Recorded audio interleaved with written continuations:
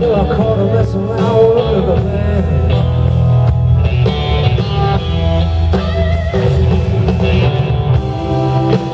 Shoot my old lady. Do I caught to mess around with the man?